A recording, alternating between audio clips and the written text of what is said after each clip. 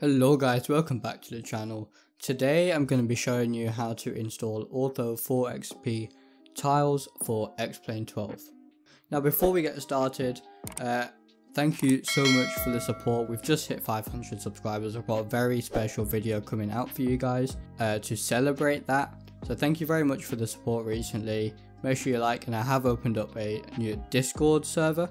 So if you guys do get any issues then please head down there and I'll be happy to resolve them. Anyway, so Ortho4XP, Presumably, if you're here, you already know what it is. If you don't, very quickly, you can download satellite imagery and import them into X-Plane to essentially enhance how the ground textures look. So I'll show you an example on screen now. There you are. Looks absolutely amazing and paired with SimHeaven X World, it's just amazing. And if you want to know how to install SimHeaven X World, then there'll be a video link in the description and a card in the top right. Now, so first things first, let's download Ortho4XP. So, there'll be a link in the description to a Google Drive. This is um, from Oscar Pilote, who is the creator of, as you can see here, he's the creator of Ortho4XP. So this isn't my Google Drive download or anything, it's his. So, click download here um, it'll say it's, you know, a big file. Just hit download. And then what we're going to do, we're going to put it in mods, X-Plane 12, and just a temporary folder. Okay, once Ortho4XP has downloaded, you're going to want to extract it because it's currently a zip file. You can do that with WinRAR. Uh, I'll leave a link to this program in the description below. So just click extract. There we are. Now, let's go into this folder. Okay, go into binary and open Ortho4XP v130. There we are, we are now in to Ortho4XP. So, first things first, let's set it up, okay?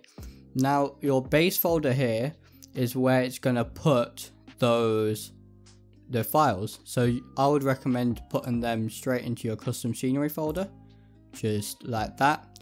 And it'll essentially, when you create the tiles, it'll automatically put them in here. You won't have to copy them across or anything like that. Okay, so just select that.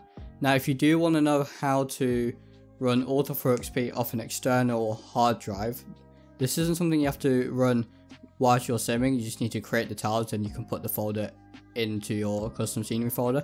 But there is a way to not have it in your custom scenery folder, but it still works. So if you did want to save space on your sort of regular hard drive, I've got a video coming out very soon. If you're watching this sort of in the future, then if that video is out, There'll be a card in the top right and a link to it in the description below. Very easy.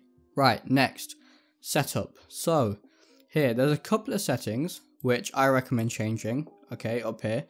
You don't have to, but it makes your, it give you much, much better results, okay. So first, here, the smoothing, we'll change that to 32. Okay. Uh, next, the this the curvature, we'll put that on 1.5. Sorry, 1.5 curvature tolerance. Okay, next, the mask zoom level, 15, that makes it higher quality. Uh, use masks for inland, set that to true. The ratio water, I like to set to 1. And use decal on terrain, this is the main one, set that to true.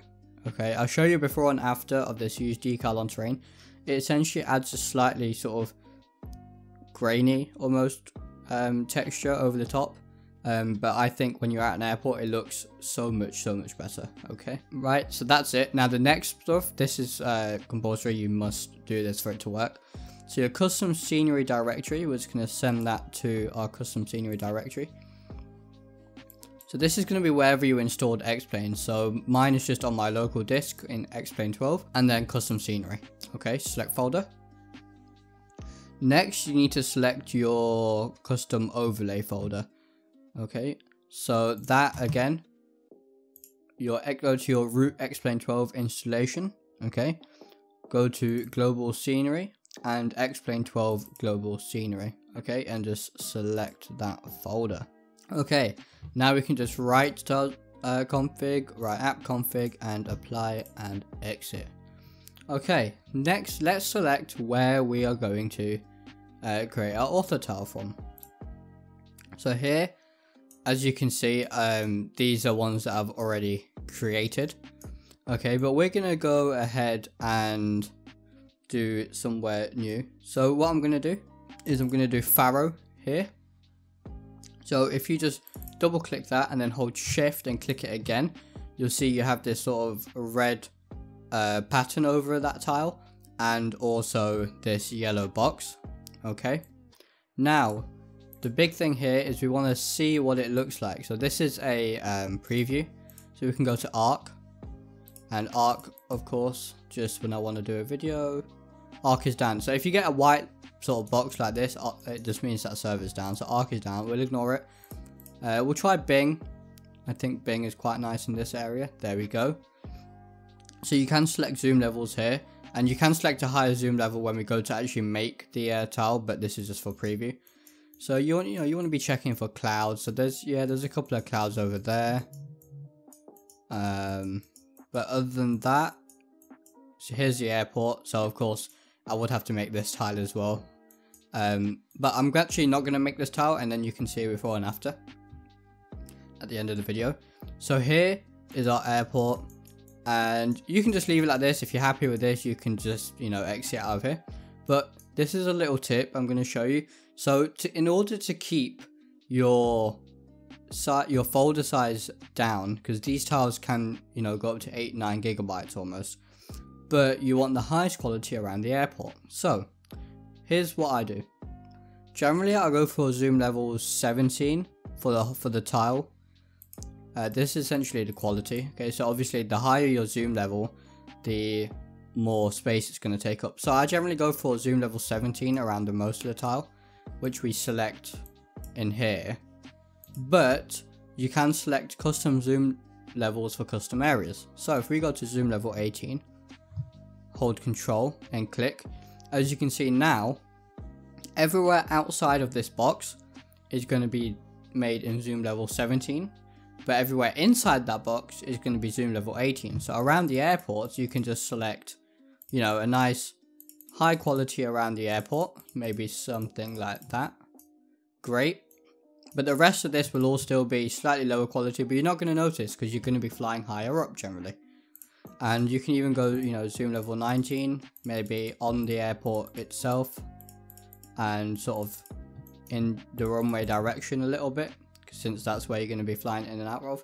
It's really up to you. You can mess about, see what you prefer. You don't have to do this. I just really like it. And anyway, once you've done that, um, you can also hit control and right click to remove and then control left click to add. Okay. Um, and then once you're done with that, you can see how much size that's added. So just having this area in a higher quality, I've added 0.6 gigabytes already. So you can see if you're doing somewhere like London where there's maybe four airports in a tile, you're going to be adding maybe three or four gig for just one tile. So just be careful. Okay. And then once you've done that, you can click save uh, and apply. Of course, if you haven't done that, you don't need to do this. But anyway, say we're happy with Bing and we've set all this up, okay? Now, we're going to select here what zoom level we want the rest of the tile to be in, the stuff we didn't select. So we wanted Bing, as we just saw and maybe zoom level 17. Okay. Now that's pretty much it. All you want to do is tick all of these boxes. Okay. And click batch build. Okay. So when you click batch build, that's going to start here. As you can see, it's going to go through this. Now, depending on sort of what server you're using, what zoom level you're using, this can take anywhere between sort of 5 minutes all the way up to 40 minutes. You'll just have to wait and see. And you can pick multiple at a time by just holding shift and selecting more tiles. Okay, so we're just going to let this go through, uh, make the tile, and I'll see you afterwards. Okay, so that completed. Uh, you know when it's completed when sort of that white window you'll say at the bottom, you know it's completed and the bars at the top will be full. So anyway, let's go to our tile here, which is here, Z Ortho4XP plus 37 minus 8. And if you go down here to textures, here you can see all the textures we just created, okay? So, what you want to do, mine automatically generated in the custom scenery folder because when we selected our base scenery folder, we selected it as here. Now, if you didn't select anything, it's going to be in your X-Plane 12, um, in your Ortho4XP file. and then you'll see it in here in tiles, okay? And you, all you have to do is copy and paste it across. Now we're in our custom scenery folder, okay? If you're using SimHeaven, you do not need to do this next step. Okay, if you're using SimHeaven Xworld, you don't need to do this next step. If you aren't using SimHeaven, what you need to do is go back to your Ortho4XP folder. That's the wrong folder. Go back to your Ortho4XP folder, okay, and there'll be a folder in here called overlays or ortho overlays, okay. You want to copy and paste that into your custom scenery folder as well, okay. Ignore this auto and ignore these shortcuts and all that, okay, that's not relevant to this video. We're just focusing on this tile here, Z Ortho4XP underscore plus 37 minus 8. Once you have those two in your custom scenery folder, there's one small step left to complete, which is really, really important. Okay, so what we're going to do now is open X-Plane 12. Okay, as you can see, we are now in X-Plane. We're actually just going to exit out of this now. And we're going to go back to our custom scenery folder. Okay, and open up this here, the scenery underscore packs configuration file. Open that. And as you can see, again, ignore all of this you can see here the scenery pack, custom scenery, Ortho4XP and our tile number that we've just created is been listed here at the top. This file essentially tells Xplane in which order to load your scenery. So this is quite important. If we leave it at the top here, it's going to load after all of this stuff, including global airports. Now what that means is that when you load into Xplane, all you're going to see is the ground. You're not going to see any buildings, any roads, any trees, any even airports, okay? You're going to see nothing. And that's not what we want, okay? We want all the buildings to go on top of this. So essentially what you're going to do, just copy and paste it. Sorry, cut and paste it. And you can just put it at the bottom. Obviously, you're not going to have all of these, okay? But I'm going to put it at the bottom. And if you haven't seen my AutoOrtho video, I highly recommend going and checking that out. Although I do have an updated one coming out very soon. So I'm going to put it here. Normally you'd put it at the bottom, but I want it above my AutoOrtho, but that's not relevant to this video. Also, if you had an overlay folder, okay, so if you don't have Sim Heaven X World, you should see an uh, ortho overlay line as well. You want to cut and paste that line to just here below global airports here okay? Again if this is confusing please join my discord um, and you know just post a question there. I'll be more than happy to help okay? You can even leave a comment on this video okay? I'm always about to help. And there we are. Again if you have SimHeaven then just make sure your sim heaven is under global airports but you'd have all that installed correctly especially if you have seen my previous video so that's pretty much it guys. So as you can see, uh, we do have Ortho4XP installed now. And again, I'm going to cut to um, Faro where we've installed the scenery. Okay. Sure you save this as well before you close out. Alright guys, here we are back in Xplane and as you can see, here we have our the satellite imagery we just generated using Ortho4XP and here is standard Xplane. Look at the difference. That's insane. And that's the zoom level 16, uh, sorry, 17 quality, guys. As you get close to the airport, look at that quality. That is so sharp, okay? And with some of the changes we made, okay, you can see how this is the animated water and it fades really nicely in. Okay, so some of the changes we made to make these coastlines a lot nicer, which they are. And you can just, you can just see, look at that difference. That's crazy. Big difference. And, you know, we still have all our buildings here. Looking at that, we still have all our trees. Okay. And this is also using SimHeaven X World. So I think this looks absolutely amazing. Thank you so much for watching. Again, if you have any issues, please either leave a comment down below, join my Discord. I'd be more than happy to help. And I'll see you in the next one.